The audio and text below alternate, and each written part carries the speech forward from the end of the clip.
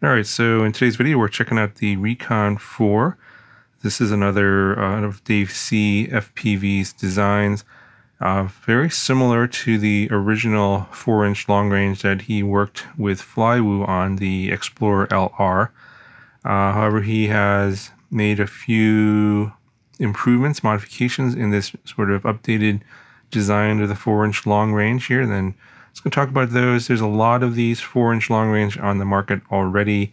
Uh, the Chimera 4, the Diatone Roma F4, um, the Explorer LR. I'm sure I'm missing a couple of other ones out, out there. Uh, very similar in the same design concept here with the sort of the dead cat uh, arm design here. Um, the carryover from the original Explorer LR, the individual arms and the way the frame is built up. Uh, but this one now um, can uh, hold a 20 by 20 stack.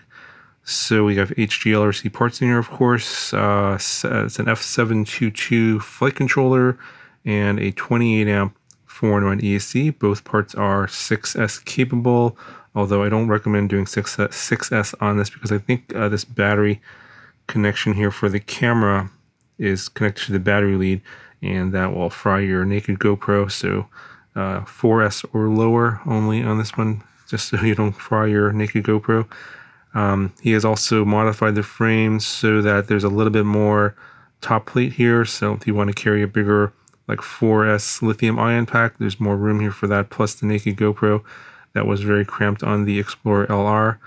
And um, I think a little bit more space here for the camera. It's a little bit different here. It's carbon instead of the 3D printed part. So you can see there. Now this uh, I've had for a while. Um, the original, all of the original reviews were on the analog version, and uh, I requested the, the, DJI version because I mainly fly DJI these days. So I kind of had to wait for this one. But then I, I got I've got I've got it a while back, and I've been flying it around, and um, they changed the specs on me. So they sent this out with the you can see, the Nebula Pro camera from Caddx. Uh, very nice camera, very similar to the DJI, original DJI camera, but uh, now I believe because of the chip shortage, they changed the spec, and now it's just the it's the Nebula Nano camera, which is the one that most people don't like, and that's basically because this camera sensor is mm, basically not available anywhere currently because of the chip shortage, and and I don't know when it is. So they, maybe later on um, they'll change that spec back to the Nebula Pro, uh, hopefully, because uh, it is a much better camera. Of course, if you can find a Nebula Pro, you can always swap the camera out yourself if you want the better camera, of course.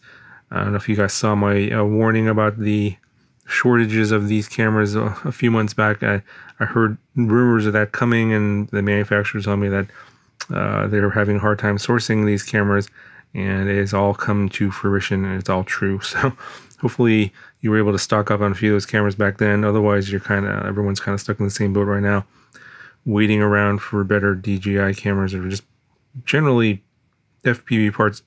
You know, are just you know in short supply everywhere, and prices are going up. So if you see something you like and it's at a good price and it's in stock somewhere, I recommend just snatching it up when you can because you, either you, you don't know when it's going to come back in stock if ever, or the price might be double the next time you see it. Just kind of crazy right now what's going on.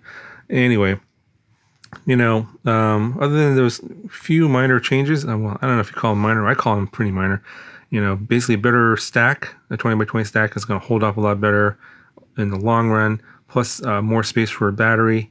Um, you, you, those are basically the, the, big things. Now, the motor is, I think, pretty similar. So let me see here.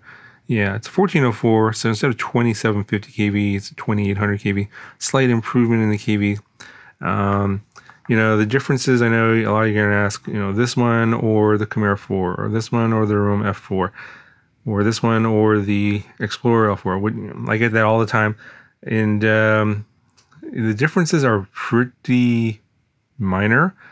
Uh, the out of the box PID tune on this one is definitely the best out of uh, all the ones I've reviewed, including the Explorer LR out of the box. So, but of course, to be fair, this is the most recent, and as time has gone on, um, the PID tunes on these have kind of been getting more refined, newer versions of Betaflight, better filtering, etc. So that's not surprising, and that's kind of expected. If you see something newer, it should come with a better PID tune out of the box. Um, I don't know if any of the PID tunes have improved on, on the other models because sometimes the manufacturers will update their PID tunes, and I haven't flown them on any updated PID tunes, or they haven't told me about any updated PID tunes. They just kind of just update them and release new batches with a different PID tune, and they fly different from the ones I reviewed. So I have no control over that, and um, that's just part of, uh, I guess, how these companies release products. They release something initially, and they'll make tweaks and changes. Sometimes they'll change specs on me, and parts will. You know, it, it has a lot to do with what they can get, and also what the customers demand and problems they see, and then they'll make some changes. So you know, a lot of times you go back and look at my old reviews and, the, and maybe things have changed and you're wondering why. And perhaps, you know, uh, I don't, I've never been told about those changes. You're wondering why, why, why isn't any of this stuff being sort of filtered out? And it's because basically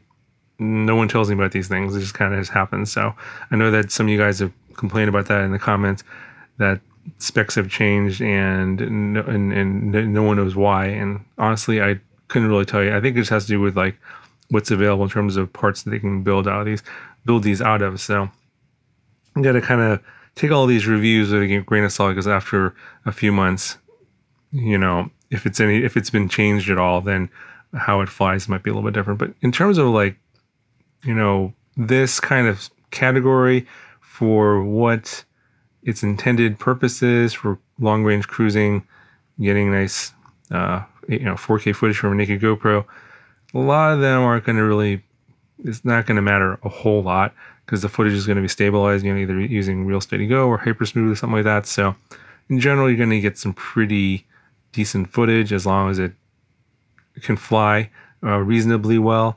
Because um, a lot of the sort of the shakes and bobbles and little PID tune problems aren't going to show up uh, in the stabilized footage. Uh, in terms of flight time, it's going to depend on the kV the motor and the overall weight and the battery you're using. So if you're trying to maximize your, you know, uh, mo- you know, the, get the maximum flight time with, like say, the, the 4S lithium ion packs, you know, some of these people said they can fly 30 minutes on. I'm finding more realistically, it's going to be closer to 20 minutes on pretty much any of these models. And a lot of factors are going to play into how much time you can actually get uh, how how aggressively you fly, the conditions you're flying in. Is it windy? What are the ambient temperatures? If it's hot, really hot, is it really cold out? And if the temperatures are really cold, the battery's cold, you know your flight times are going to really suffer. You know, on that 4S lithium ion pack, you may only get 10 minutes. So, um, you know, the maximum flight time that's advertised on a lot of these up to 30 minutes. It's, it really is a maximum flight time up to a potential 30 minutes assuming um, ideal conditions, um, you know, favorable flying uh, style, etc. So that you know, keep all things those things under grain with a grain of salt. But what I fly with is generally something like this, like a 4S 850. Um, sometimes if I want to go a little lighter, you can go to like a 4S 650 to get the weight down. Um, but you know, you're going to get a solid probably like 10 minutes on a 4S 850 uh, not really kind of worried about how you fly. Um, this one is a bit heavier than the original Explorer uh, LR, or the, yeah, the Explorer LR from Flywoo. I think it's uh, about 20 grams, I think, if I remember right. So, again, this is a heavier camera than Nebula Nano, so keep that in mind. But this is how much it weighs with the naked GoPro mount, a crossfire receiver antenna. It's 181 grams. I think the Explorer LR was around 165 ish grams. So this is about 15 or so grams heavier. And then here's the flying weight. Here's with the uh, 4S 850, and now we're at two, 275, 276. And then with a naked GoPro, now we're well over the 250 mark here, 307.6. So yeah, it's um well over the 250 mark. And when you fly it like this, you can go with a lighter battery. Now, if you if you really are, you know, uh, can't fly anything other than with uh, uh, naked, I'm sorry, with uh, uh, anything over 250 grams. If it has to be, has to be under that, then you're going to want to go for the lighter uh, frames like the Explorer LR. Um, the Chimera 4 is going to be out, of course. Yeah, it's going to be actually something like the Explorer LR, I think, and a lighter battery, and maybe even you know, not even going with a naked GoPro. Uh, you can reduce the weight by not using a, a crossbar antenna like this. Um, maybe just fly with a DJI controller. Can strip down the naked GoPro. Um, you can put in an all-in-one flight controller, like like uh, the Zeus, for example, the Zeus 35. There's a lot of things you can do about that. Um, let's see. Oh, one more thing uh, I feel to mention. The GPS here is a little bit different. It's an M80 GPS. It does pick up satellites faster, and you get more of them than on the Explorer LR. And GPS Rescue uh, does work out of the box, no problem. This one, uh, at least the, the, one I've got here. Uh, you probably also noticed that these have come with folding propellers. These are the Gemfan 4019 folding props. Does come with a set of the regular two-bladed uh, non-folding props as well. Uh, I just flew it on the folding props because I wanted to see what the PID tune was like with this. And out of the box, this flew really, really nice, um, even with the folding props.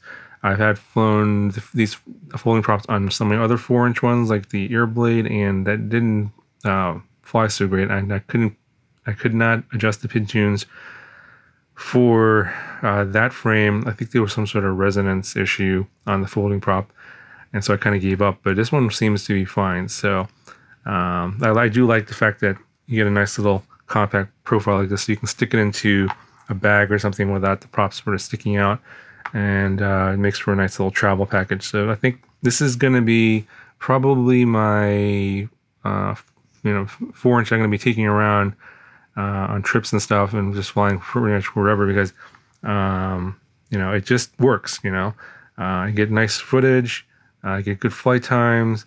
Um, and yeah, it just works without having to do a lot of fuss. I, I've been sort of messing around with some other custom builds and stuff and just not getting good the greatest results. I'll probably talk about that stuff in a different video because it's a really long subject. But yeah, so far this is my favorite. I, like this one uh, in terms of the uh, four inch class, and I'll be flying this one a lot more in the future. So I'll be holding on to this one in case any of you guys are wondering if I'm going to be selling it or not. Yeah, now this one's going to be staying in my fleet for a while because I I really like the way it flies and I get good um, results in terms of the final output of the naked GoPro, and everything is great on this one. So yeah, uh, kudos to Dave CFPV. He did a good job um, making all the little improvements over the original Explorer LR. And um, yeah, if you want to check it out, there's links down in the description. Here's the flight footage for you, and I'll talk to you guys in the next one.